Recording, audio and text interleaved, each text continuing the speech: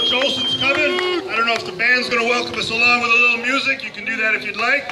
So again, bear down, go Cats. Have a lot of fun tonight. Let's go.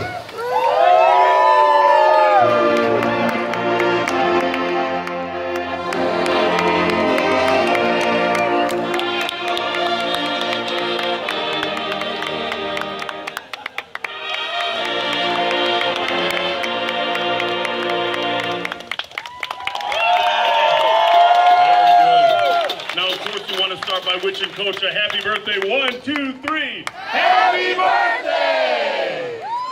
So, Coach, we- we've alluded to this just a minute ago. They're going to put a statue up uh, here in a few months.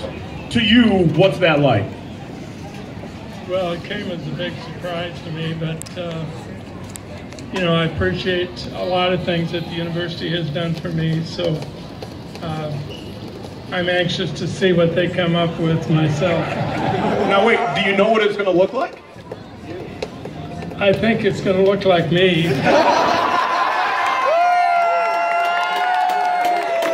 I deserve that. I think I'll be holding the uh, 97 championship trophy. Well, I, I, I can't wait to see it. And, Coach, for those that don't know, uh, you're a pretty big football fan. I see you at all the games. What have you seen this season?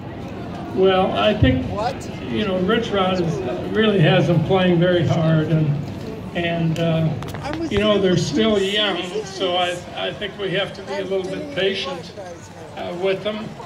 But uh, Utah is favored by four, but they haven't been in Arizona State.